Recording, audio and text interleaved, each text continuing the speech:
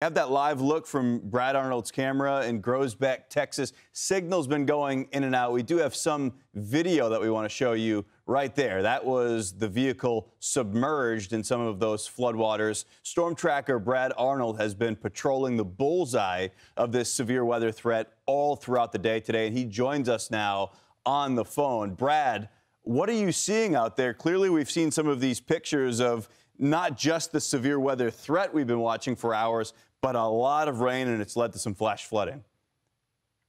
Yeah, so the, the flooding threat is is really ramping up over here as these storms continue to train over each other. Um, that's what happened in this situation. We're sitting at uh, State Highway 164 right now, having some data issues. Data is kind of spotty in this in this area of Texas, but um, they're actually towing that car now. Um, it, it was it was a lot deeper, probably about 15, 20 minutes ago uh, the uh, the tow truck uh, operator walked out walked out there, and it was it was up to his waist.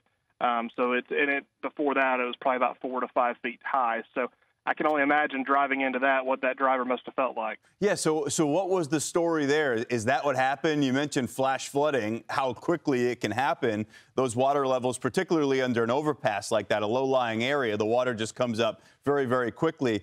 Is, is that what it seems like it happened? Oftentimes, someone someone drives into that not really with a with a full understanding of how deep that water might be. Right, absolutely, and and oftentimes what will happen is it'll happen in a uh, very very very strong downpour of rain, so it makes it already hard enough to see while you're driving in the heavy heavy precip.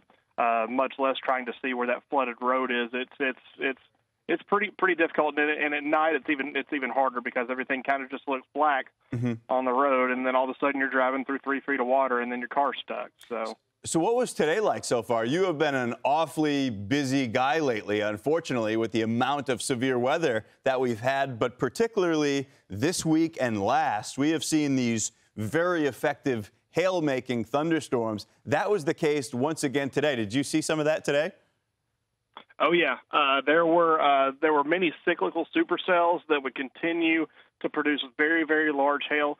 Thankfully, I haven't heard of any. Correct me if I'm wrong. I haven't heard of any tornado reports today. There were there were a couple funnels that we saw. I know we we counted probably about three or four different funnels. There was something that was limiting that, so it wouldn't be able to get all the way to the ground to actually become a tornado. So, um, but yeah, it's been a very uh, very interesting, very crazy couple weeks. Um, hopefully we're going to get a little bit of a break from this severe weather. But this is that this is our point. This is the point in time of year where, you know, it's pretty much every week where you have a big system coming through somewhere in the United States.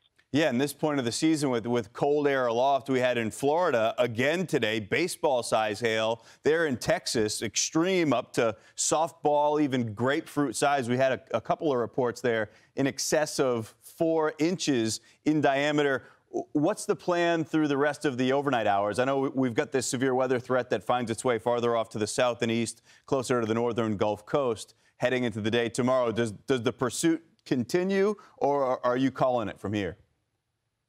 So tonight, my main plan tonight is probably going to travel behind these storms to see if there are any flood reports.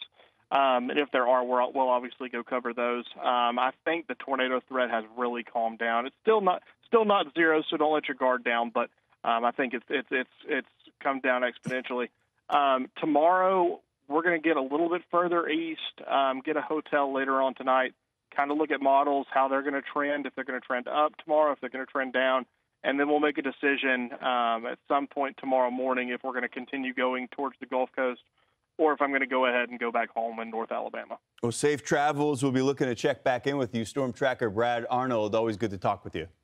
I'm Amy Freeze. Welcome to Fox Weather's YouTube page. We have more great videos on the way, so make sure to subscribe to stay updated on all things weather.